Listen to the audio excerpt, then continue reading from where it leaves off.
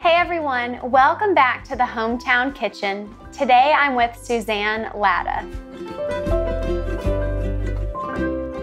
Hey Suzanne, Hi, Katie. how are you? Good. How are you? I'm good. I'm excited to bake with you today. Oh, it's going to be delicious. Okay, can you tell me what we're making?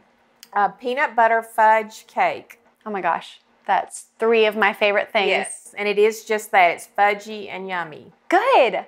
Well, what all is going to go into this dish? All-purpose flour, white lily preferably, um, sugar, um, eggs, baking soda, cocoa, real butter, water. That might be all. Peanut butter. Peanut butter, of course. And buttermilk. That sounds delicious. Okay, well, to get started, do you want me to go ahead and preheat the oven? Yes, please. Perfect. 350. Okay, great. All right, what should we do first? Um, we'll do our dry ingredients first. Okay. And you said you prefer this brand? Yes. That's the brand my mom chooses. Oh, really? Yeah. Let's see, we got a half a cup there. We do what our moms do. Yes, it's certainly nice to hand down a recipe. So two cups, Two cups. almost got our flour. Okay. Two cups of sugar, granulated sugar.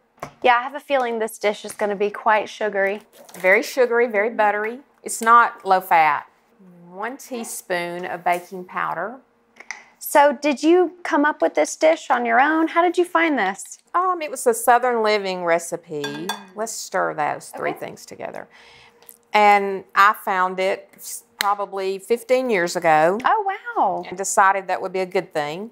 Yes. And it has been. Good. So I make it all holidays Christmas, Thanksgiving. Um, I have a brother in law who dies for it, and my husband. But now I've, I have to hide it at Thanksgiving or Christmas because everybody eats it or takes it home, and then Bruce has none Oh, he needs his own batch. because he wants his dessert Yes. at night. Right. So now I'll cut his off and hide it in the cabinet. but it's it's a favorite. It's a favorite. I can see. All right, that looks pretty well mixed. What are we going to add to this? Let's beat two eggs. Okay. And then we'll add those to our dry ingredients. I need my granddaughter here to crack these eggs. That was pretty beautifully done. Do you make this with kids? No, Okay. Not usually. it's too involved, yeah. as you as you will notice. Yeah. So no, we stick with the simple things with the kiddos. Well, it just seems to have a lot of layers of goodness. It does, and it's not hard, but you do have to follow the recipe. And you could probably do these eggs in a KitchenAid mixer or by hand or Yes. with. Okay. And actually, you can do the batter in a KitchenAid mix with a Oh, KitchenAid okay. mixer. That's good to know. Or you can stir it if you mm-hmm. don't want to mess up the mixer bowl. Mm-hmm. And you can do the frosting the same okay. when we get to that point. Perfect. All right, how are these looking? They look good. Okay. We can we're gonna go to the stove with our two sticks of butter, real butter, um, a fourth a cup of cocoa. Do you want me to measure that? That would be great. I'll start melting the butter. Real butter is Real oh yes, real butter only. I think the original recipe called for margarine, but I tweaked that. I think you probably made the right call. Yes. And after 15 years, you would know if you needed to change something. Yes, absolutely. We're going to melt that first, and then we'll add our cocoa and our water and our buttermilk. I'm going to measure out the buttermilk. So I think next holiday, Bruce might need his own pan of this.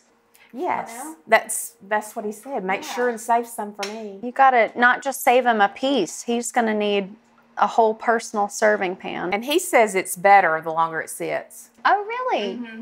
Probably gets that fudgy texture. hmm Well, not a long time, just a day or two. It doesn't last past that, it sounds like. It's too popular. We have a crowd usually too. That I think that's such a unique um, dessert to bring too, because not everyone attempts to do fudge. It's usually pies or yes, something a little simpler.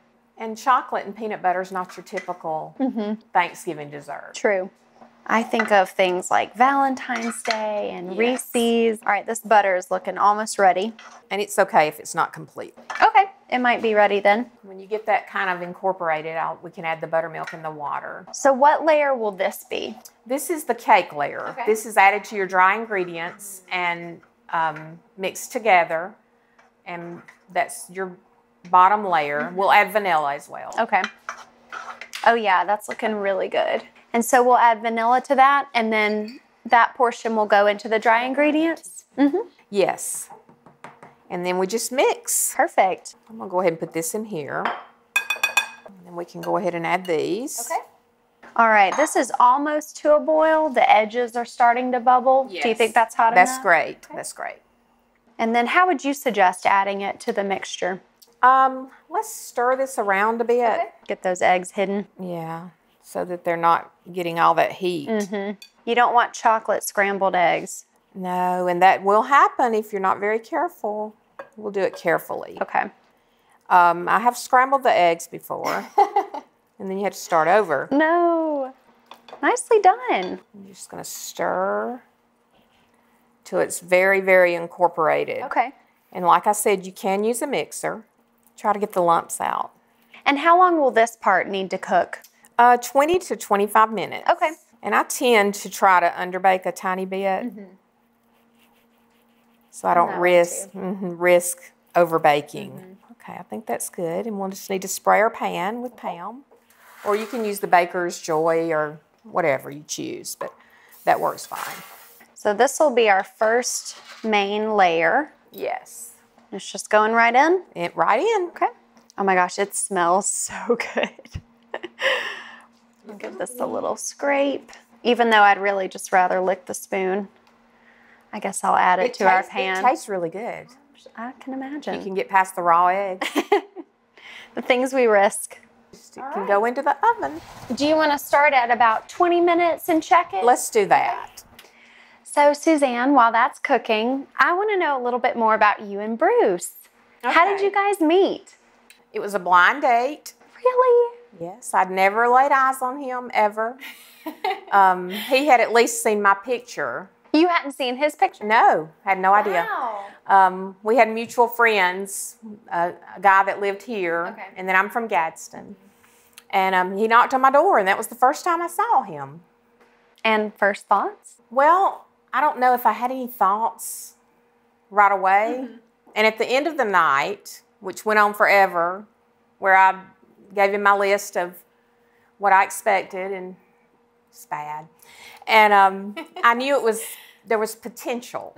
I won't say love at first sight because I don't believe in that, but potential. Okay. Well, that's So- sweet. That was October of 06. Okay. And we were both, you know, we're a blended family. So we had, you know, children and all the ins and outs living in different cities, but it worked. I love that. Mm-hmm. And if you could say, what did you learn either from that experience in dating or previous experiences in dating? What would be some dating advice that you could offer? Or maybe you wish you had had? Do not settle. Do not settle for less than you deserve or less than you expect. Mm-hmm. Don't lower your expectations for anyone and demand respect. Mm-hmm. And that's that's the respect is the bottom line for me, as I told him on our first date. Good. Yeah. You laid it out. But he was he's so respectful. yeah. To, still to this day. What about in marriage? What advice would you have or Well, first you should marry the right person. Yeah, that's first, and um, you know you have to let a lot go. You have to give a whole lot. But if your temperament mixes well with your mates, you know, marry somebody that gets you. You know, the bad, the good, and the ugly. You know, not somebody that just sees the nice side, but Bruce gets me. He gets my personality, my flaws, and I get him. We, we get each other. sounds like y'all are a good important. team? We are. We're a good team. Good. Well, tell me about how he proposed. Well, it wasn't romantic. Um, we went actually and picked out my ring, and we were to get married. How long had y'all been dating? Um, two and a half years Okay. at that point. And um, his son, who was 10 when we met, was, um, he told Bruce one morning, they were driving to school, and he said, um, How long have you been dating Miss Suzanne? And he said, No, about two and a half years. And Brock said, She's going to dump you if you don't marry her. And he was right. he was right. And so that got the ball rolling. Wow. And we married like a few months later. okay. Sometimes you just need a little light pressure. Yes. From the child. Well, do you ever make this dish for him for Valentine's Day? Um, not really for Valentine's, but other occasions. Yeah. Or just because sometimes. Yeah. Usually for Valentine's we go out. Good. But um, I make it at holiday time for our families, and I love to cook. I nurture people with food. I'm sure Bruce knows that. I was raised that way, and that's the way I do our children. It's a love language. It is. It is, and it creates memories. Yeah. So it's it's good. We make it a lot though. Good. Well, thank you for sharing that with us You're today. welcome. All right, Suzanne, I think the cake is ready and it smells good. All right, so that's our base and our first layer. Yes. What can I be doing to work on the icing? We're going to melt a stick of butter, Okay. a fourth a cup of cocoa, and our one third cup of buttermilk. Okay. Going to mix that together. And you can put all that in together. You don't have to melt the butter first. Perfect.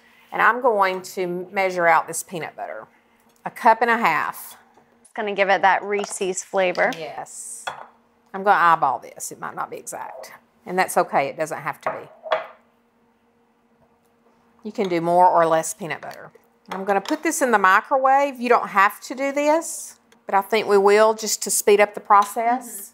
And I'm just working on this till it's all incorporated. Is that right? Yes. And it can come to like a low boil and you'll know it's it's ready. Now you don't have to microwave your peanut butter, but um, it makes it spread a little easier on the hot cake. And then when we pour this on, that's the final layer? It is. Perfect. And the frosting will get a little bit hard. It sets up a little like fudge because we'll pour that over two cups of confectioner's sugar and add a teaspoon of vanilla. And then we'll be finally done. While this is heating, I'm going to go ahead and measure out our dry ingredients. You said two cups? Yes. Okay. And you can pour your frosting on the hot cake, and then it just needs to cool. And some like to eat it warm, and you can certainly do that, but I like to cool it. And how much vanilla? One teaspoon. Okay. Do you want me to bring it over? Yeah, that'd be great. Okay, we're just gonna add this to the powdered sugar. Oh my gosh. So it sort of makes like an icing glaze mm-hmm. with that sugar. Just stir. And as soon as you get it all stirred, and I tend to try to do it quickly, mm-hmm. then you just pour it over the peanut butter. Try to get your lumps out. Yeah, before it starts to harden. Yeah. That peanut butter looks delicious. It looks like it just melted. Yeah, it did because the cake was so warm.